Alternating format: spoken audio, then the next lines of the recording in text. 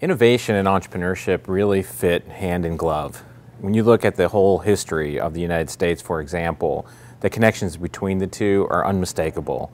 It's really what gives birth to economic opportunity that changes the world. So today on Top of Mind, we are sitting down with Invent Now, the parent organization of Camp Invention, the Collegiate Inventors Competition, and the National Inventors Hall of Fame induction ceremony. I'm Tom Rue, and this is Top of Mind.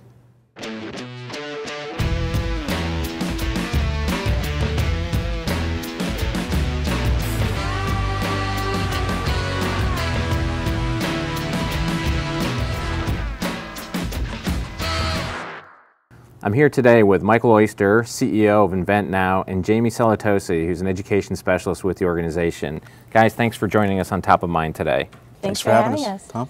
Um, you know, Mike, maybe we should start with you, and if you could, for the viewers of Top of Mind, just share very briefly, you know, what's the mission of Invent Now and the programmatic priorities that you have?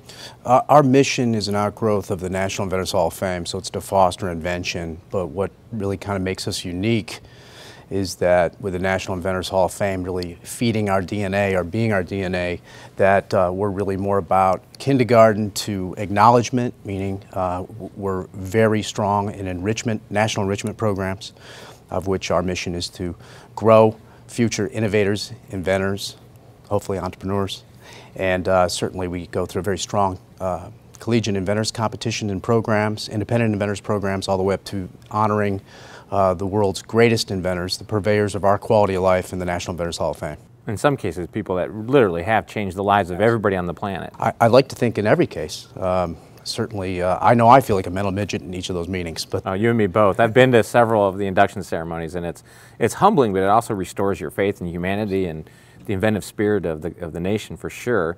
And that's kind of like at the pinnacle of their career, acknowledging their full body of work, but we're starting earlier stage, right? I mean, Jayme, you're down there where the where the cement is still wet and we're molding yes, the mines, right? Absolutely. Well, I, I, had quite a moment taking a, a digital image with uh, Steve Sasson, the inventor of the digital camera. So um, we're able to take stories like his and bring them uh, right into the Camp Invention program. He talks a lot about um, his do nothing machine that he was so proud of that sat in his parents' closet, uh, but gave him some of that early confidence around prototyping. And so we're able to really bring these um, stories and more importantly, the, the inspiration and the mindset to children in Camp Invention.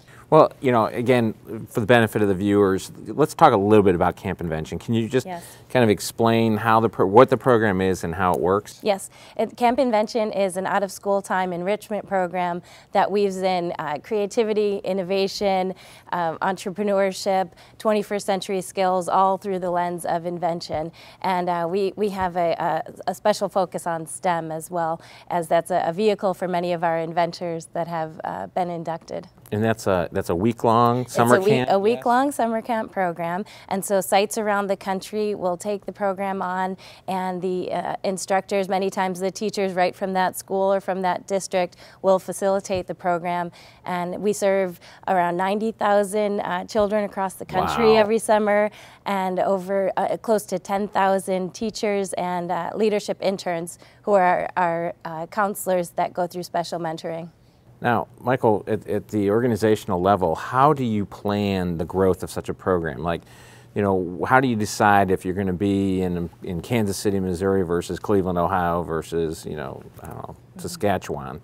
You know, how do you figure that out? What's the prioritization and what does that look like? The, the only way to scale a program is, is with concern about quality of implementation. I mean, it's our mission to make sure a program in Florida is delivered with the same experience for the for the student as it is in Seattle, Washington, or, or, or Maine.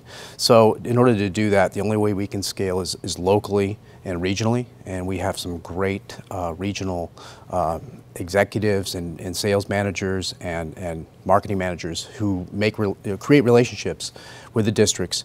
We like to think that we do business with the 2,000 most forward-thinking school districts in the United States who are very concerned about enriching science education, enriching obviously creative uh, implementation, getting their students ready for the workforce of the 21st century.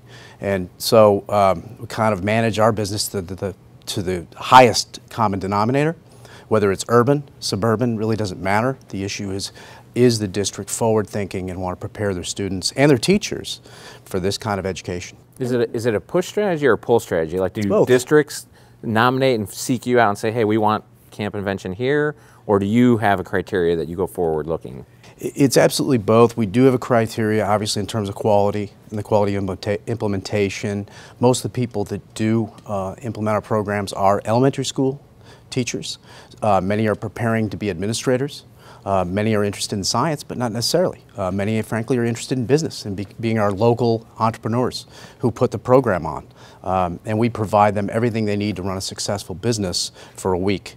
Uh, for 60 to 80 to sometimes in some cases up to 150 students in one program. Wow.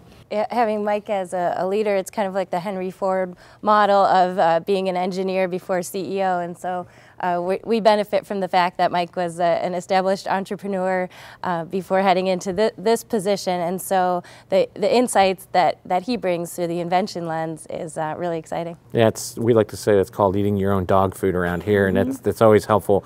Um, how do you, you know, go about developing the curriculum for Camp Invention? You know, you, when you're talking about education, especially mm -hmm. in that kind of K to six or K to eight space, a lot of people have a lot mm -hmm. of opinions. Mm -hmm. You know, it's mm-hmm. not just simply oh, let's give them a loose blueprint of you know how to yes. take apart a radio. I mean, what went into that? How do you do that? Well, uh, one of the, the things that really attracted me to the company was their investment in the Vanguard process, and so we we spend all summer long piloting our programs in various socioeconomic areas, and uh, before they're released nationally the following year. Um, so we we go into classrooms and we're looking at everything from are these the the right materials to do the teachers feel comfortable confident enough to facilitate this, to is this engaging and, and reaching the uh, objectives that we have for the children. So we, we, we dig deep and we do a lot of uh, rapid prototyping, design thinking, and um, we, we really integrate a lot of the um, cutting edge practices around 21st century development. So if I heard you correctly, what I'm hearing is the curriculum's evolving constantly. Absolutely. So Absolutely. like every year. So so if I had sent my children back in the day to a camp invention one summer, next summer that experience is likely to be different. What about the part in the middle? Like where do those bright, yeah. you know, minds in STEM that we get all activated and lit mm -hmm. up and then they go on into college? What are we doing there in that middle piece? Well, we like to think of it uh, akin to March Madness. November Madness for us is the Collegiate Inventors Competition. Uh, the entire le year leads up to uh, these incredible submissions, which uh, these college students from across the country get to uh, present in front of inductees of the National Inventors Hall of Fame.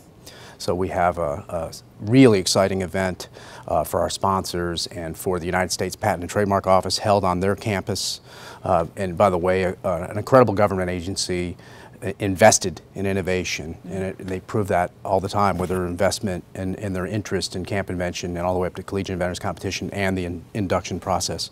So um, the, we also take the opportunity to uh, also kind of kind of get an insight of the secret sauce of these these kids. Well, I, I can believe that, and I'm sure the the college students get a lot out of it because I know as a mentor in entrepreneurship and many mentors I talk to, they will say they get as much, if not more, out of the experience of being a mentor yes. than the mentees. Mm -hmm. So in this case, I'm sure these college students are getting a lot out of helping you know the, the camp invention yes. kids with their ideas. Well, um, I tell you what, Michael, I'm going to give you the last word. You know, here we are, uh, 2013 is wrapping up you know, as you look in the three to five year horizon for, you know, the organization, you know, what's your greatest hope in going forward, you know, whether it's in one or more of the programs for the organization, you know, at large, what's your ambition going forward with Camp Invention, or well, excuse me, with Invent Now? Sure. You know, our, our ambition obviously revolves around scale. We want to reach more and more